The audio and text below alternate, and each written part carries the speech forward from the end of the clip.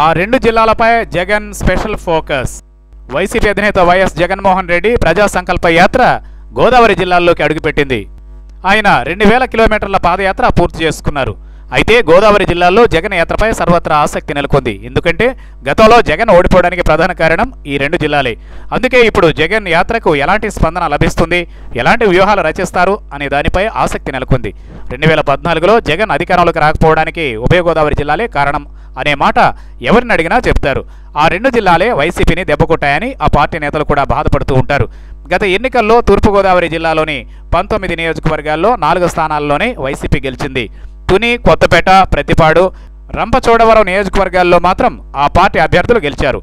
అయితే ఆ తర్వాత ముగ్గురు టీడీపీలోకి జంప్ అయ్యారు. దీంతో ఒక్కరే మిగిలారు. పశ్చిమ గోదావరి జిల్లాలోని పదిహేను నియోజకవర్గాల్లో ఒక్కటంటే ఒక్క సీటు కూడా వైసీపీకి రాలేదు. ఆ జిల్లాలో ఒక్క సీటు కూడా రాకపోవడంతో ఆ పార్టీ కంగుతింది. అంటే ఉభయ గోదావరి జిల్లాల్లోని మొత్తం ముప్పై నాలుగు నియోజకవర్గాల్లో కేవలం రెండు చోట్ల మాత్రమే వైసీపీ నిలిచింది. ఈ రెండు జిల్లాల్లో కనీసం పది పదిహేను సీట్లు వచ్చింటే తాము అధికారంలోకి వచ్చేవాళ్ళమని భావన ఆ పార్టీలో ఉంది. గత ఎన్నికల్లో జరిగిన పొరపాట్లకు ఈసారి ఏమాత్రం తావు లేకుండా గోదావరి జిల్లాల్లో తమ సత్తా ఏంటో చూపించాలనుకుంటోంది వైసీపీ. అందుకే ఇప్పటి నుంచే కార్యాచరణను రూపొందించుకుంటోంది. ముఖ్యంగా సుమారు నెల రోజుల పాటు ఉభయ గోదావరి జిల్లాల్లో జరిగే పాదయాత్రను ఎన్నికల్లో లబ్ధి చేకూర్చేలా మార్చుకోవాలనుకుంటోంది వైసీపీ. నియోజకవర్గాల్లో పార్టీని బలోపేతం చేసుకునేలా పాదయాత్రను ఉపయోగించుకోవాలనుకుంటోంది. నియోజకవర్గాల్లో బలమైన నేతలను గుర్తించడం వారికి మరిన్ని బాధ్యతలను అప్పగించాలనుకుంటోంది. అదే సమయంలో ఉభయ గోదావరి జిల్లాల్లో కుల ప్రభావం చాలా ఎక్కువ. ముఖ్యంగా కాపు సామాజిక వర్గానిదే ఇక్కడ ఆధిపత్యం. ఈసారి ఆ వర్గం ఓటర్లను దగ్గర చేసుకోవడం ద్వారా లబ్ధి పొందాలనుకుంటోంది వైసీపీ. జగన్కు జనంలో మంచి క్రేజ్ ఉంది.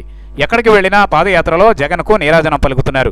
గత ఎన్నికల్లో కూడా జగన్ ఎక్కడికి వెళ్ళినా జనం వచ్చారు. కానీ వచ్చిన జనాన్ని ఓటర్లుగా మలుచుకోవడంలో నాడు వైసీపీ విఫలమైంది. అయితే ఈసారి అలా కాకుండా క్షేత్రస్థాయిలో పార్టీని బలోపేతం చేసుకోవాలనుకుంటోంది. పార్టీ తరఫున గెలిచి టీడీపీలో చేరిపోయిన వారికి గట్టి బుద్ధి చెప్పడం ఓడిపోయిన స్థానాల్లో గట్టి అభ్యర్థులను రంగంలోకి దించడం కోసం తగిన కార్యాచరణకు పాదయాత్రే సరైన సమయం అనుకుంటోంది వైసీపీ. ఆ దిశగా అడుగులు వేస్తోంది.